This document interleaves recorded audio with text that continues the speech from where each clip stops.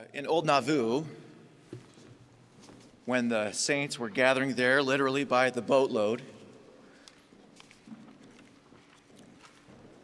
Brother Joseph would often be there to greet the new coming saints. And he would say to them some pretty audacious things. He would say to them things like, We're so glad that you are here. We were hoping that you would be coming soon. We've been waiting for you. He would look them right in the eye and say, We need someone with your abilities for this work. Such a familiar greeting from a relative stranger must have pr- provoked various reactions. I'm sure many hearts were thrilled and some were comforted. I imagine that for some there was that panic that we feel when someone recognizes us but we don't recognize them in return. But still, for others, I'm sure there must have been a few that may at first have seemed disingenuous to receive that kind of a greeting. It may have come off a little like a sales pitch. But if there were any who were initially incredulous or suspicious of his sincerity, those shadows of doubt were soon dispersed by his example he proved that he was the real thing through his devoted service and his consistent love. That love is one of the prophet Joseph's many spiritual gifts. He was given this gift and cultivated this gift to be able to see others the way that God sees them, even his enemies. Well, I want to tell you here today that I have been praying about you over the past few weeks. I want to share with you an experience that I've had in that process as I've anticipated our time together. Now, I don't consider myself to be a visionary man. Uh, to this point in my life, it seems not to have been my gift. But I have been praying about you. I've been asking Heavenly Father to show you unto me, or to be more precise, that I might see or perceive just a little of your world, your experience, your hearts, and your needs, so that I could know what to share with you that might do us both the most good. So, although that you are relative strangers to me, I admit that I feel a little like Brother Joseph when I tell you that I am so glad that you decided to come here today. I wish that I could look into your eyes individually as he did to those saints so that you could know it is neither pretense nor platitude when I tell you I was hoping to see you here today. That we need someone with your abilities for this work. And because God answers prayers, I feel I have a message or two to deliver to you. Now, in saying that, I want to make clear that I, uh, I don't pretend to receive revelation for you. I don't have that stewardship. It's not my accountability. That job will be left to you. I'm a sojourner like you. We are fellow pilgrims. And for today, at least, we share this path together. And it is an honor. At our house, we love the missionaries. We love to feed the missionaries and we love to have the missionaries over. We love to hear their stories and their lessons. And um, we're usually one of the first to know in our ward when a transfer happens because the new missionary will often accidentally tract into our home and get a bit of a surprise. Sometimes when I meet a new elder or a sister, uh, for the first time, they're surprised to find out that I have what they often call a real job. I am indeed a counselor by profession. I work in a wilderness treatment center uh, for at risk adolescents and young adults called Anasazi, the making of a walking. At Anasazi, we utilize um, the wilderness settings and primitive living skills to help families of these youth and uh, to address uh, behavioral. I'm not checking, my, I'm doing the time so I can know how much time I have to spend with you. I'm not um, checking my Facebook or anything, but I could take a picture of you guys because you look awesome. I'm passionate about the work that we do at Anasazi. Looking back on my journey into that field, uh, I can see that it wasn't by happenstance that I ended up there. I have a, a journey of my own, which includes um, some mental health issues and some learning struggles. Uh, some of them meet diagnostic criteria and some don't. But for a lot of us in that field, uh, we go into it thinking that we can um, get some access to figuring ourselves out.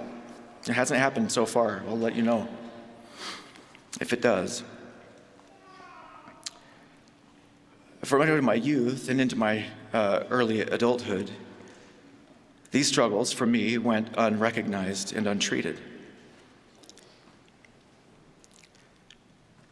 I know that some of you here today share in those struggles.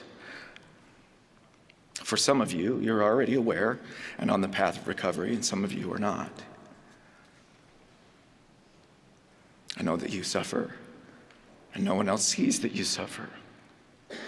And part of my message for you today is that you don't need to suffer the way that you are, that there is light and there is help and there is hope for all of us.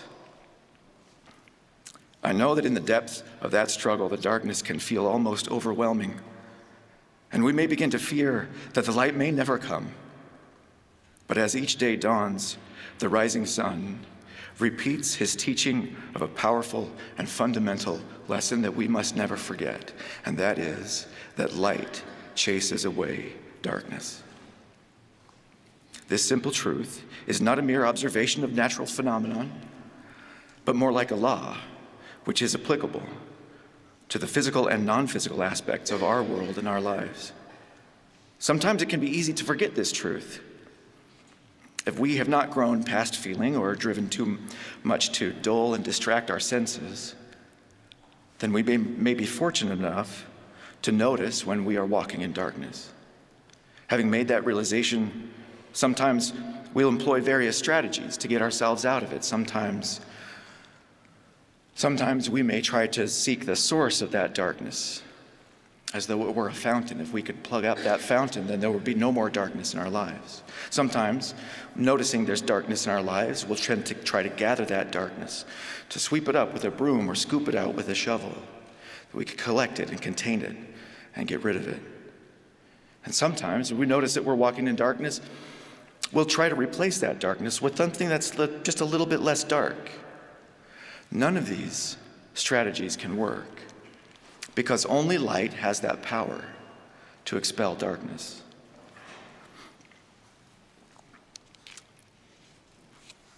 These strategies can turn out to be like illusions. They can give us a counterfeit feeling of making progress because there's movement. But we must never forget movement with actual progress. They're not the same thing. There is a singular effective formula for ridding one's life of darkness, and that is by adding light. And not just once. We must seek light and add it to our lives continually. So, in finding that one is walking in darkness, the wise, observant pilgrim will immediately look for light. The fact that you are here today tells me that you know quite a bit about it already, that you know where to look for light. Prophets and apostles, both ancient and modern, including this past weekend at General Conference, have been teaching and reteaching us why we must look for light and how to do it. As a mental health practitioner, I know many Latter day Saints who have operated under the tragic misunderstanding that we must simply uh, pray our blues away. And if that didn't work, they surmised that it must be due to a lack of faith, or even more tragic, uh, a lack of worthiness, which only reinforced some of their most destructive beliefs and thoughts. This is one of the reasons that I find the imagery of light so helpful. When the sun rises, you may notice how freely nature seems to let go of the darkness and does not resist the light the way we sometimes do. In addition to looking for light in the usual primary answer type of ways, there may be some ways of looking for light that you may not have thought of. I'm not going to spend a lot of time on the primary answers because obviously you already know them. But some of the other ways that you might not have thought of, I do want to, to share uh, with you. Some of these are um, developing a sense of wonder and awe and gratitude. President Uchtdorf has spoken extensively a number of times about that subject, about being grateful, uh, cultivating that attitude of great gratefulness. One of the other uh, solutions or ways to look for light that you might not have thought of. And I think this is uh, maybe one of the most important, and that is our connection with each other, the community that we share. Whenever we're in darkness, it feels like we're alone. And God has placed us on this earth in the midst of others and given us strict instructions to be one. That's a powerful step that we can take when we find out that we're walking in darkness, to reach out for help. Not only to reach out for help, but to reach out in service with the aim of connecting to someone else and being uh, useful, being helpful in their journey. Another um, another way that we're taught sometimes to uh, seek for light and to look for light is taught by uh, Alma. In uh, the fifth chapter of Alma, he reviews a, a, technique for looking for light that I think is pretty intriguing and has helped me to gather light um, in a way that's really changed my life which is why I want to share it with you today. In the fifth chapter of Alma, uh, starting in about verse 16, this is after, this is a very famous uh, chapter in Alma. This, this sermon that he delivers is full of beautiful doctrine. It's going to be very familiar to you. This is where he talks about having a mighty change of heart, where he talks about have you received his image in your countenance. In verse 16, he begins by saying, I say unto you, can you imagine to yourselves that you hear the voice of the Lord? This phrase, can you imagine, is something that we use quite a lot in our day to day conversations. But I suspect that Alma is using it somewhat differently here because he repeats it a number of times. Can you imagine? Can you imagine? Alma is trying to get these people to engage that uh, faculty, that ability that God gave them to simulate an experience. This experience simulator, this imagination of ours, is a powerful tool to help us to understand gospel principles, especially to understand the scriptures and to gather light to understand those things in our heart. For understanding, after all, happens in the heart. This is a principle that um, is taught throughout scriptures. So I'd like to um, maybe do a little exercise with you today with that in mind. This idea of trying to imagine more deeply, more fully as you study the scriptures. And let's explore a New Testament story to illustrate what I mean. This will be in the 13th chapter of Matthew. Um, this, he records a, a pretty well known story here. Uh, this story finds the apostles all gathered together, following and listening to, to Jesus. And they're aboard a boat with the master as he's preaching to a, a, group, a multitude that's over on the seashore. So, as he's teaching them these things, and in chapter 13, he teaches them um, the parable of the sower. And this is the part where um, one of the apostles, after he's finished with the parable, he asks, Why do you teach to them uh, in parables? Now, I want to uh, make sure that I um, set this up properly to engage your imagination in the way that Alma talks about. So I want you to, before I'm, I'm going to go ahead and read some of these verses uh, with you, and I'm going to invite you to ponder a few of these questions.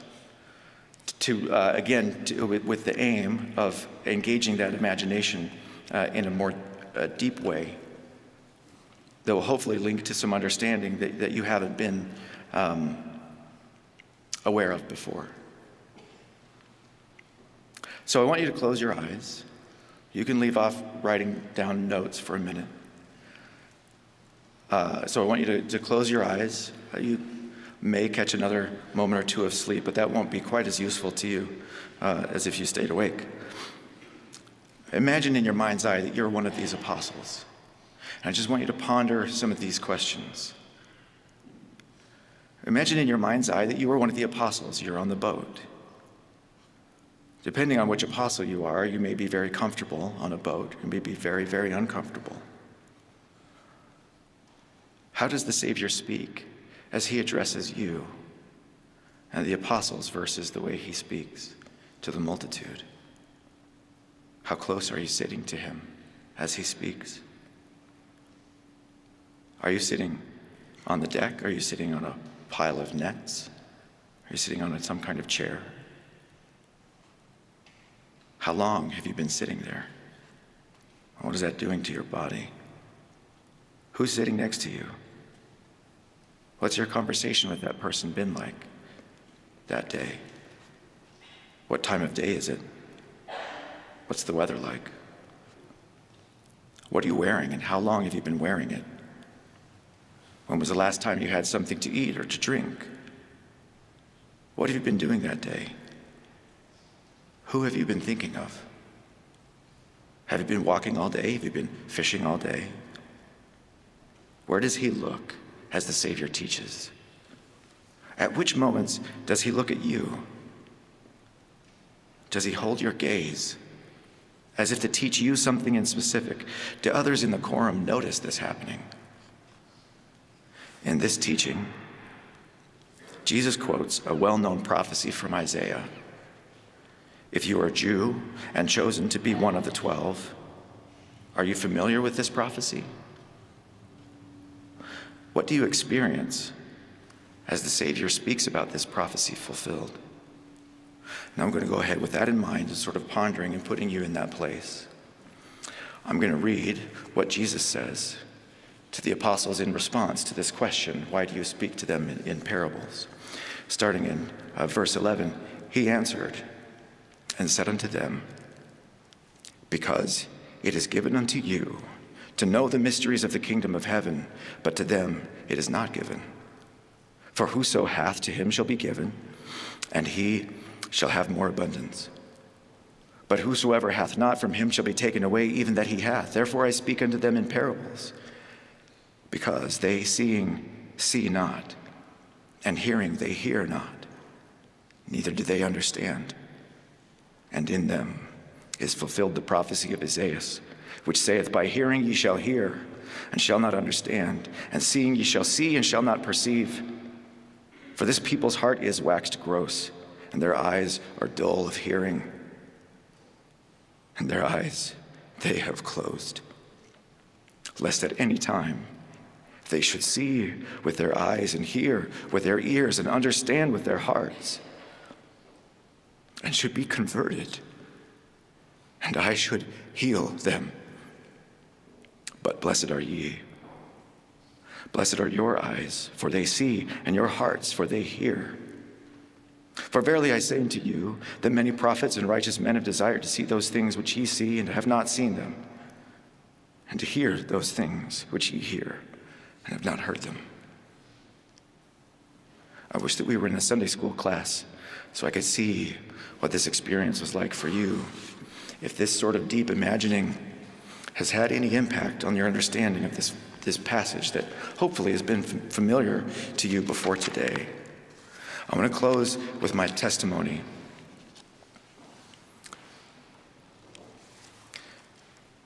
Brothers and sisters, I know that Joseph Smith saw exactly what he said he saw. I know it. I likewise know that each one of us is going to live forever, whether we like it or not. I testify to you of the divine mission of the Savior Jesus Christ, that his mission is always to heal our hearts, to make us one with him and with his Father, that we can live with them again. In the name of Jesus Christ, amen.